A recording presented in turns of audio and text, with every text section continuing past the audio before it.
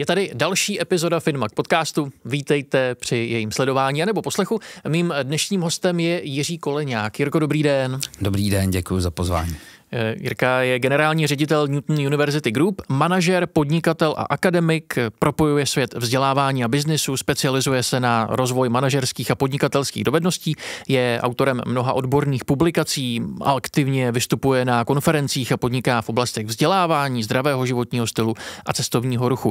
Eh, Jeho poradenská společnost Synergo se zaměřuje na rozvoj manažerských kvalit pro krizové řízení. My se tady, Jirko, budeme bavit primárně o, řekněme, pro propojení toho biznisového a akademického světa, což ostatně je i pole působnosti, eh, ve kterém jste jako doma. A Tady bych asi začal. Eh, dovedu si představit, že ty trendy se poměrně rychle mění, že to taky může být docela, docela dynamické prostředí. Eh, jakým způsobem vlastně školy reagují na vývoj toho biznisového nebo chcete-li komerčního prostředí tady u nás a jestli vůbec teda samozřejmě? Eh, školy samozřejmě reagují, reagovat musí a škola je kromě toho, že je to budova, tak je to hlavně sociální systém, je to mm-hmm. soubor lidí a vlastně ta naše naše reakce je přirozená v tom, že mezi naše vyučující patří lidi, kteří v té praxi jsou. To znamená, tak, jak se mění praxe, tak uh, oni o té praxi referují těm studentům vlastně. Hmm. hmm. A co jsou třeba nějaké konkrétní příklady toho právě, jak to propojení může fungovat? Konkrétní příklady, uh, je jich uh, celá řada, protože naše škola je zaměřena na takzvané profesní programy. Naši studenti mají povinně poměrně velké množství praxí. Máme partnerských firm, zhruba čtyři stovky, kam hmm. naši studenti vlastně jako chodí na ty, na ty praxe, eh, kde spolupracujeme. Eh, další příklad je například to, že ty firmy nám vlastně jako zadávají konkrétní zakázky, konkrétní úkoly. Mm-hmm. Velmi konkrétně Karel Novotný vede například Newton Brand Studio, kam studenti, kteří studují marketing, tak vlastně jako pod jeho vedením pracují ale na naprosto reálných zakázkách právě pro ty naše partnerské subjekty.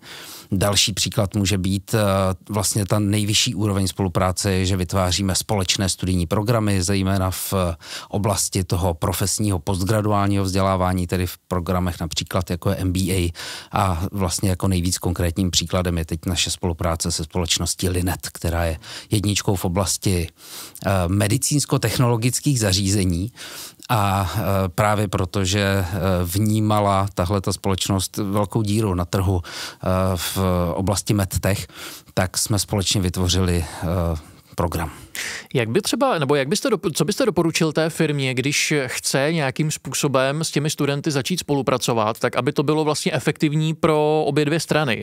Co byste té firmě doporučil, jak postupovat? Uh, musíme spolu začít mluvit, uh, musíme spolu uh, začít diskutovat o tom, jaký formát spolupráce bude vhodný. Mm-hmm. Řada firm si myslí, že prostě zadají témata závěrečných kvalifikačních prací a studenti něco vypracují, ale ono to nejde potom bez té další spolupráce, bez toho, že těm studentům poskytují data, bez toho, že, že jim dají kontakt na někoho, kdo je vtáhne opravdu do té problematiky. Takže eh, je to vlastně oboustranně závazek a ten závazek musí být vyjednaný.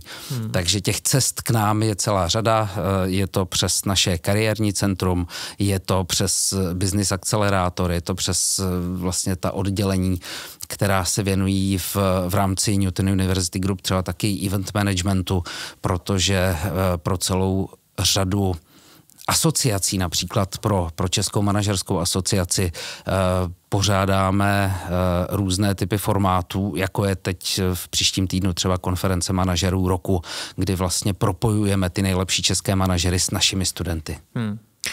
Vy jste říkal, že těch firm, se kterými spolupracujete, je kolik? 400, že, nebo uh, několik stovek prostě? Jsou to stovky firm, hmm. firm, se kterými máme podepsané rámcové smlouvy o spolupráci. Uh, ty nám umožňují vlastně ty záměry nějakým způsobem kategorizovat. To znamená, máme, máme firmy, se kterými spolupracujeme, takže u nás vlastně vystavují na veletrhu kariérních příležitostí eh, a nabízejí studentům tady tento typ spolupráce. Eh, jsou tam firmy, se kterými máme rámcové smlouvy o poskytování praxí, takže si na začátku řekneme, že například dva až čtyři studenti ročně eh, v té firmě zastávají naprosto konkrétní pozici pod supervizí někoho z, z těch odborníků a podobně. Takhle, hmm, hmm. takhle vlastně jako pro nás ta kategorizace potenciálu té spolupráce tak je vlastně tím úvodním Eh, námluvním kolečkem vlastně, tak aby jsme eh, tu spolupráci vůbec nějakým způsobem dokázali zahájit.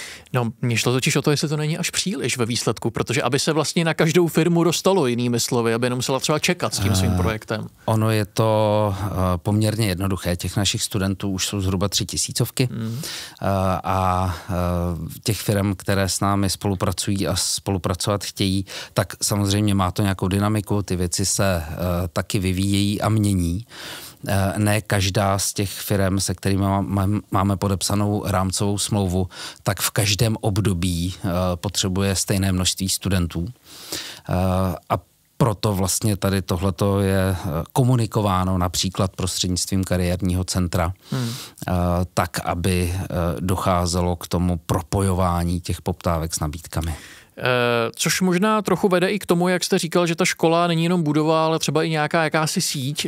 Mm. Co od ní vlastně třeba by měly, ať už teda ty firmy, nebo potom právě ty studenti, eh, dejme tomu, očekávat?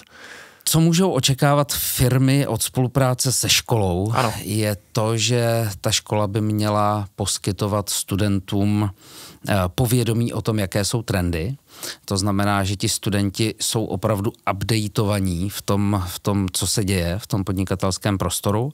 Velmi často tam nosí uh, do těch firm takový ty, uh, ten mindset vlastně té, tady těch generací, jako je Gen Z a podobně. Uh, a svým způsobem osvěžují to prostředí v těch hmm. firmách. Uh, to je jedna z těch prvních věcí, které lze, uh, který lze očekávat. Uh, samozřejmě dneska žijeme v prostředí, kdy už není přebytek lidí na, na trhu práce, takže motivovaní, vzdělaní a řekněme, jako nějak mindsetem nastavení lidé na tom pracovním trhu, tak vlastně jako fakticky chybí. Takže to, co ty firmy můžou očekávat, je to, že eh, z té spolupráce může právě jako vypadávat nejenom to, že ten student je v uvozovkách levnou pracovní silou, hmm. která na druhou stranu si chce odnést nějaké pracovní návyky, ale eh, vlastně je to někdo, kdo za deset let bude ovládat ten, ten trh práce, bude tím dominantním názorem a je dobré vlastně ten názor znát nebo ho proskoumávat, nebo ho hmm. konfrontovat vlastně s tím, s tou realitou, ve které ty firmy žijí. Máte pocit, že tedy škola vlastně dokáže svým způsobem obrousit ten generační střed, ke kterému by mohlo potom v té práci reálně nebo v tom pracovním prostředí pak docházet? Je to jedna z těch rolí, které by uh, vysoké školy měly mít vlastně v tom tom systému, hmm. uh, protože to akademické prostředí zajišťuje právě tu konfrontaci těch názorů. Uh, máme názory z praxe, snažíme se je velmi aktivně sbírat, máme informace o tom, jak se chovají a, a jaké hodnoty a jaké nastavení mají ty generace, které nám přicházejí. A vlastně eh, to jsou nějaké limitní podmínky. A vše mezi tím je užitečné proskoumávat, diskutovat o tom a vytvářet nějaké závěry. Oni nemusí být nutně správné, ale jsou to nějaké myšlenkové proudy, ke kterým se potom dá připojovat a které můžou být oboustranně užitečné. Hmm. A jak se tady bavíme o tom propojení s tím e, biznisem, tak docela by mě zajímalo, jak jsou na tom třeba právě soukromé školy versus ty státní. Jestli ty soukromé máte pocit stále jdou třeba v tomto směru o několik kroků napřed před těmi státními v tom propojování se právě s tou komerční sférou.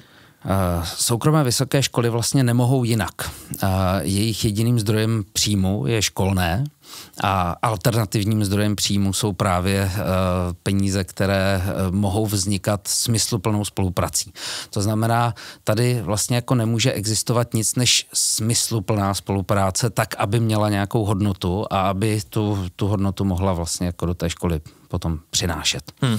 Veřejné vysoké školy uh, nejsou natolik zaměřeny na takzvané profesní obory. Oni mají, jsou mnohem víc zaměřeny na propojování výzkumu a něčeho, co, co nazýváme primárním výzkumem, kde ne, nemusí být nutně uh, vidět to propojení s tou praxí. I tenhle ten výzkum má smysl, uh, protože nějakým způsobem umožňuje ty velké skoky v, ve společnosti. Uh, na druhou stranu uh, právě pro ty podnikatelské subjekty se tam potom velmi obtížně hledají ty průsečíky. Soukromé vysoké školy musí nabízet, přicházet s naprosto konkrétní nabídkou té hodnoty, tak aby eh, to těm podnikatelským subjektům dávalo smysl. Uh... Bavíme se o nějakém propojení s, řekněme, tou komerční sférou nebo s firmami jako takovými. Eh, když třeba bychom šli do toho biznisu ještě vlastně hlouběji a zkusili bychom se podívat třeba na nějakou startupovou scénu, kdy třeba ten student během toho studia prostě objeví v sobě, řekněme, nějaký podnikatelský zápal. Je tohle něco, co by ta škola taky měla podporovat? Pokud to patří do záměru té vysoké školy, tak rozhodně ano. Hmm. Já si myslím, že Newton University je vlastně, vlastně jedinou opravdovou podnikatelskou vysokou školou v České republice. Právě proto, že o tom podnikání nejenom učí, ale to podnikání přímo podporuje prostřednictvím svého business akcelerátoru, to znamená, že ti studenti eh, nejenom, že chodí do business akcelerátoru jako do odpoledního kroužku, mm-hmm. ale zpětně dostávají v tom business akcelerátoru podněty pro to, aby si ty projekty, na kterých pracují, aby si je brali do té výuky. To znamená, existuje tam to reálné propojení eh, nemůžu říct, že eh, jiné vysoké školy nemají business akcelerátory, ale obvykle je to naprosto izolovaná entita, která nedokáže zařídit to propojení. Takže hmm. to, v čem uh, se považujeme za unikátní, je právě to, že studenti si nosí ty projekty, na kterých pracují, tak si je nosí do výuky, zapojují své spolužáky do práce na těch věcech. To znamená, že uh, vlastně všechny takové ty podnikatelské eh, průzkumy, šetření a další věci, tak, tak vznikají v tom reálném čase na reálných datech, na reálných projektech. A když to dotáhneme do nějakého konce, tak vlastně na Business Accelerator navazuje investiční fond, klasický andělský fond vlastně rizikového kapitálu, kam ti studenti, eh, kteří ten projekt dokáží dostat do eh, té podoby, kdy je ten projekt investovatelný, tak chodí před investiční komisi, hmm. získávají na to peníze a zase má to dominantní vliv na jejich motivaci. Eh, ne všechny projekty v tou akcelerací projdou do té fáze, eh, kdy eh, jsou vhodné k investování. Řada těch projektů také v té fázi akcelerace zjistí, že nepotřebují externí peníze, že jsou schopni vlastně jako fungovat bez nich a, a, a existovat na tom trhu. Takže ne všechny projekty jsou investovány, ale ta možnost je eh, naprosto zásadní pro motivaci těch studentů uvažovat o tom, že ten sen se může naplnit. Hmm. Jak často se tohle třeba děje, že skutečně škola, dejme tomu, podpoří nějakou finanční částkou, nějaký projekt, jiným slovy, že do něj prostě investuje? Tak za poslední rok se to stalo přesně jedenáctkrát. hmm. Což znamená, že těch projektů vlastně není asi úplně málo, protože to je poměrně zajímavý číslo, už tohle teda musím říct. On v tom asi potom roli hraje i ten networking eh, následný, že prostě ty studenti tam jsou schopni najít ať už biznisové nebo jiné partnery obchodní? Je to tak. Eh, vlastně ten náš business akcelerátor má několik stupňů. Hmm. Tím prvním je fáze inkubace, kam přichází člověk, který má jenom touhu podnikat, ještě nemá, má možná nějaký něco, co se spíš nazývá podněty než nápady. A eh, vlastně ta inkubační fáze mu pomůže vydefinovat si ořezat vlastně ty, ty zbytečnosti z toho projektu tak, aby na konci inkubace ten člověk dokázal říct, tak eh, mým podnikatelským záměrem je toto. Hmm. Potom jde do té další fáze, do fáze akcelerace. Eh, vlastně jenom přechod mezi těmito fázemi setřese to množství těch eh, lidí, kteří vstupují do toho business akcelerátoru třeba ze stovky na 30 a vlastně tady už musí projít nějakým výběrem, musí uh, vlastně být schopni odprezentovat to nějaké, nějaké výběrové komisi, nějakému panelu, uh, který doporučí potom ty projekty do akcelerace. Ve chvíli, kdy ten projekt potom prochází zase tím ročním cyklem akcelerace, tak uh, tam dojde právě k tomu, že některé projekty nepotřebují tu investici, některé u některých projektů se ukáže a je to taky dobře, že se to ukáže v té fázi, v toho, toho inkubátoru, že nejsou třeba realistické, nebo to očekávání toho zakladatele nebylo realistické. A tady vlastně jako vzniká velmi zajímavý moment, kdy vlastně žijeme ve svobodném světě. Je lepší ukončit projekt, který přestane dávat smysl a ještě v tom vlastně akceleračním cyklu to změnit, protože ten člověk už najednou získal velmi cenou zkušenost, poznat, že to ne, nedává smysl a velmi rychle zareagovat na nějakou novou příležitost, která se před ním otevře. Hmm. Přestože tohle zní skutečně velmi zajímavě, tak si ale pořád říkám, jestli vůbec má smysl to biznisové vzdělávání mít, nebo vůbec se jako vzdělávat v tom biznise. Přece jenom to je velká praxe. Takže co si o tomhle myslíte? Ta velká praxe znamená, že buď to se učíme cestou pokus omyl a při dobré konstelaci to vlastně může být poměrně rychlé učení se, mm. ale zároveň ve chvíli, kdy se dokážeme učit ze zkušeností jiných, a ve chvíli, kdy e, dokážeme připustit, že i teorie má velký smysl, protože to slovo teorie vzniklo jako, jako ta nejlepší praxe, jako vlastně něco, co stojí. Teorie vzniká tím, že popíšeme něco, co bylo úspěšné a popíšeme to někomu jinému. Takže teorie není špatná. Eh, ve společnosti existuje takový jako názor, že teorie jsou, jsou zbytečná věc. Mm-hmm. Já jsem přesně opačného názoru, protože my si vlastně vytváříme i teorie pro náš vlastní život. A když si tu teorii dokážeme vytvářet na základě nejenom vlastních zkušeností, ale i sdílených zkušeností někoho jiného, tak může vzniknout něco opravdu jedinečného. Hmm. Co se týče těch třeba dovedností, co si člověk právě z toho, řekněme, biznisového oboru eh, odnese, tak eh, co by to všechno bylo? Je toho obrovské množství. Já si myslím, že to první je mindset. Mm-hmm. Vůbec ta, ta schopnost eh, pojímat uh, tu problematiku podnikání jako komplexní záležitost, jako něco, co není izolované jenom na vydělávání peněz. Je to něco, co uh, velmi úzce souvisí s komunikací, se schopností vytvářet, navazovat, udržovat nějaké vazby, vztahy, ať už v podnikání nebo v tom, v tom privátním životě. A potom samozřejmě ten soubor něčeho, co se dá nazvat nástroji, tedy schopnost počítat, vlastně vytvářet ty základní kalkulace a velmi rychle poznat, jestli ty věci dávají smysl ekonomicky.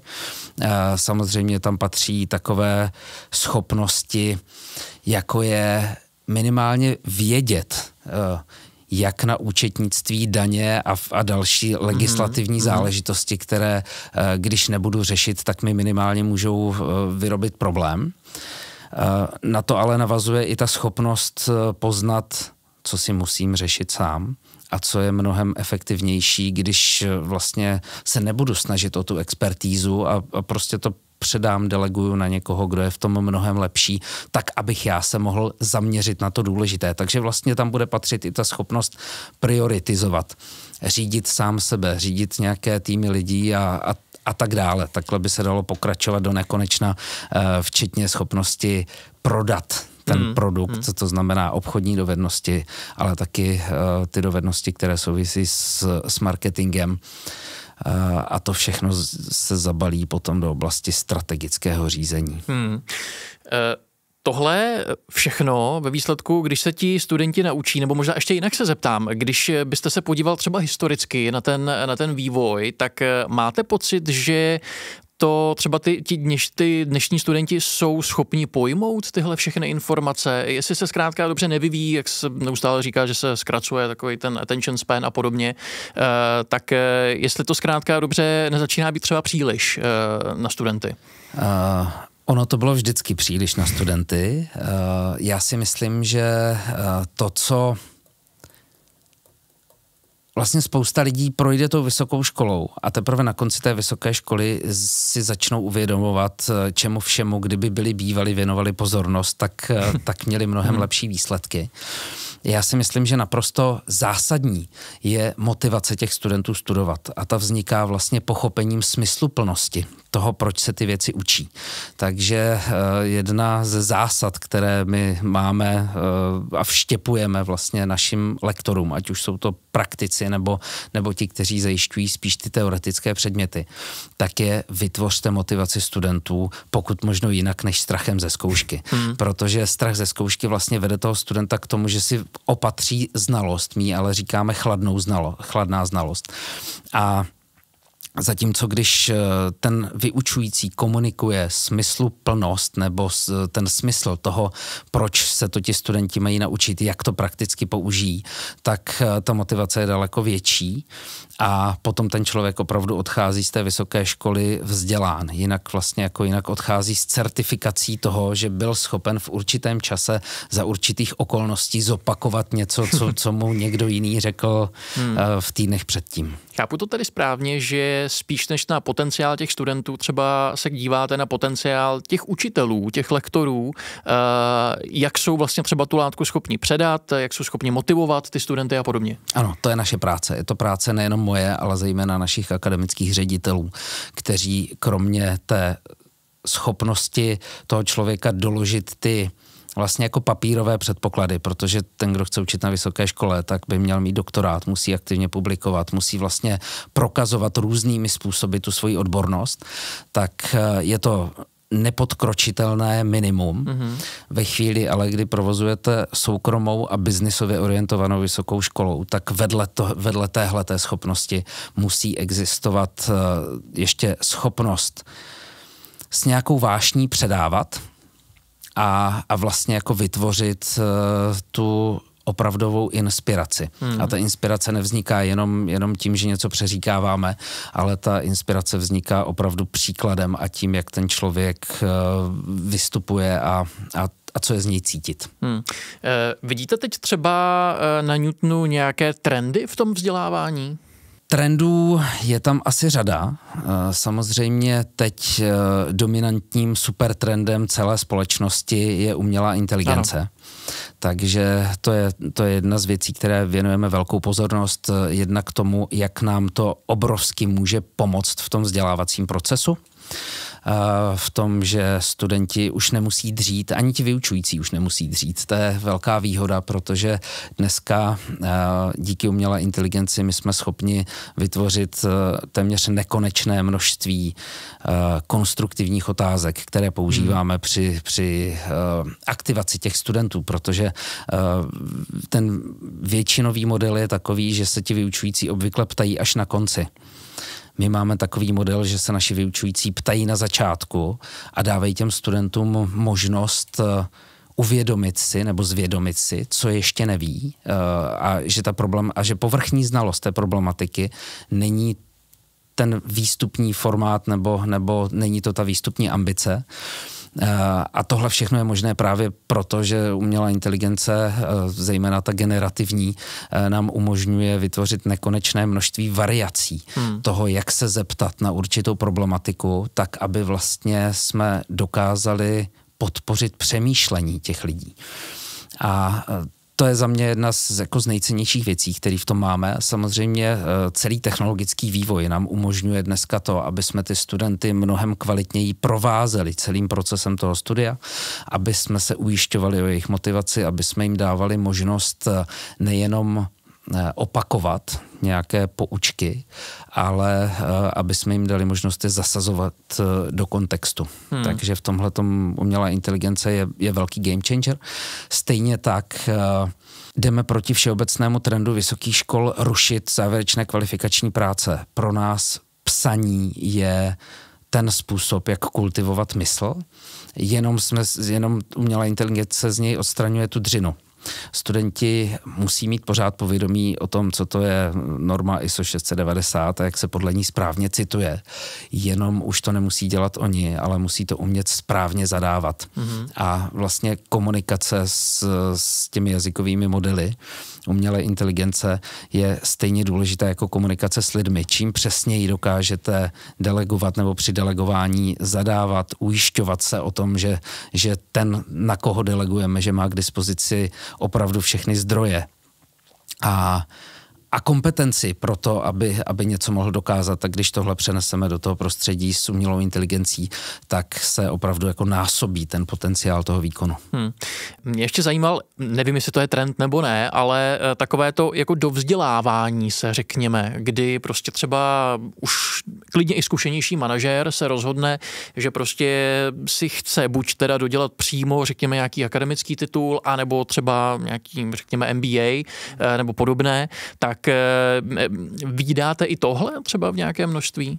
Vídáme, eh, podporujeme taky, eh, protože třeba ty naše programy MBA mají řadu specializací a vlastně lidé, kteří projdou tím programem, získají titul MBA, tak už netouží po dalším titulu MBA, mm. ale mhm. touží potom být v kontaktu s tou vysokou školou Eh, a vlastně rozvíjet se v některých, v některých dalších oblastech, takže eh, vlastně my umožňujeme těm absolventům MBA, nebo nejenom MBA, ale třeba MSc, LLM programů, aby uh, si vybírali jenom určité části těch programů, které máme se skupiny do balíčku zaměřených na marketing, nebo hmm. právě medtech, nebo ty, ty, ty trendy, nebo umělou inteligenci, ty trendy, které tam jsou.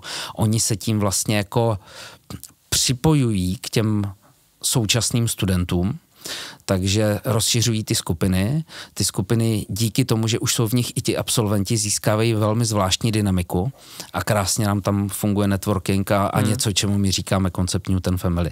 To znamená, že ti, ti naši absolventi spolu zůstávají dlouho, dlouho v kontaktu, i když už nejsou v tom aktivním studiu, tak, jsou, tak se připojují právě tady tímhletím způsobem. To mi e, svým způsobem trošku odpovídá i na další dotaz, protože mě zajímalo i takové to online nebo remote studium, jestli tohle je podle vás třeba cesta, samozřejmě COVID nám ukázal, že se to nějakým způsobem dá, mě spíš zajímá, jestli e, se to podle vás dá i do budoucna.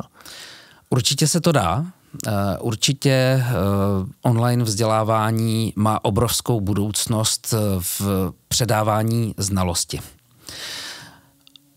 o mnoho menší roli bude hrát v, v takových eh, oblastech, jako je právě kultivace přemýšlení hmm.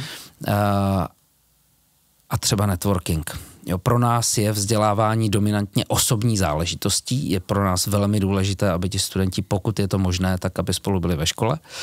Zároveň e, technologie nám dneska umožňují do značné míry eliminovat tady, tady tenhle ten problém a třeba v našem e, bakalářském programu e, Global Business and Management máme studenty opravdu z celého světa, kteří mm. se připojují k té skupině. Máme studenty v Praze, v kampusu, ale k ním se připojují studenti z, z mnoha zemí na světě formou takzvané hybridní výuky a díky technologiím ten, ta, ta fyzická vzdálenost je opravdu kratší, Nicméně právě v těch elitních manažerských programech uh, vlastně ani nemusíme ty lidi moc přesvědčovat, že je lepší být v té škole, uh, protože tam může probíhat i něco, čemu my říkáme chodbová výuka nebo vytváření koalic. Prostě takový ty věci, které se dějí o přestávkách nebo se dějí po té výuce, hmm. tak mají velkou hodnotu, protože u těch manažerských programů není důležitá jenom ta znalost, ale taky to, s kým jste to studovali, co se dělo přitom,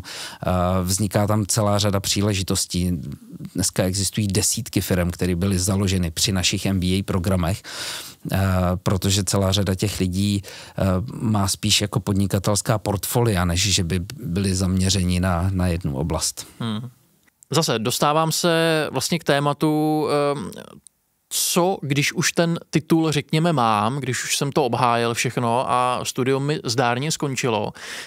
Um, často, nebo řekl bych, že takový obecný úzus je, že tak dobře zamáváme si, podáme si, potřeseme si rukou a už se nikdy nevidíme. Um, předpokládám, že tohle není úplně cesta, kterou bych chtěl Newton v tomhle směru jít, že by tam měl být přesně nějaká, nějaká jakási kultivace to, té sítě, jak jsme o ní mluvili. Je to přesně takto. Vlastně, když jsme tady na začátku mluvili o čtyřech stovkách firm, se kterými spolupracujeme a ze kterých chodí naši studenti nebo do kterých chodí e, na praxe a pracují na jejich projektech, tak e, ta síť se rozšiřuje přesně tímto způsobem. To znamená, přicházejí k nám vrcholoví manažeři do, právě do těch manažerských programů. Ono to nekončí jenom těmi programy. Do Newton University Group patří kromě tří vysokých škol taky zhruba desítka dalších subjektů, které vytváří ten celý ten ekosystém.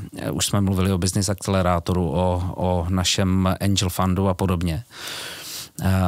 Máme tam jachtařský klub třeba, který pořádá jednou za rok, eh, pořádá velkou regatu v Chorvatsku, kde se sejdou zhruba dvě stovky mm. vlastně lidí, kteří patří do té alumni, kteří patří mezi ty naše absolventy a ti studenti vytváří vlastní posádky a, a, a je kolem toho vlastně uh, ta síť lidí, který, který združuje tady tenhle ten uh, konkrétní sport, tak uh, takhle by se dalo pokračovat. Patří tam taky subjekty, které zajišťují koučování vrcholových manažerů. To znamená, velmi často ten vztah je založen na tom, že ten student přichází do toho MBA studia a spolupracuje s námi potom vlastně další roky formou, uh, formou nějakého, nějaké podpory jeho kariéry.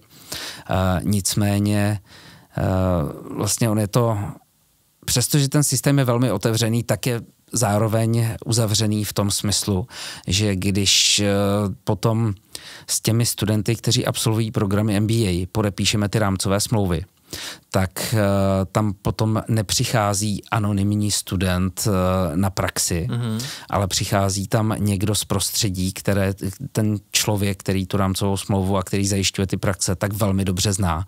To znamená, že zná kvalitu těch našich studentů, ví, že od nich může čekat mnohem víc, než je postaví ke skartovačce a nechá je tam celý den vkládat nějaké, mm. nějaké papíry. Že tam přicházejí lidé s názorem, že tam přicházejí uh, lidé, kteří jsou nějakým způsobem vzdělaní a jsou v tom vzdělávacím procesu a že vlastně eh, dokáží reflektovat eh, obě ty prostředí. Takže potom ta spolupráce má samozřejmě úplně jinou kvalitu, než když jsou to takové ty chladné kontakty, kdy, kdy v těch firmách jsou kariérní centra, ty, ty poskytují training programy a je jim jedno, kdo do nich přichází, hmm. protože vlastně je nějak jako standardizovaně uh, s nimi pracují. Tady už funguje právě ten rodinný koncept, protože obě strany se znají. A obě strany chtějí spolupracovat. Jiří Koleňák, děkuji moc za rozhovor. Já děkuji.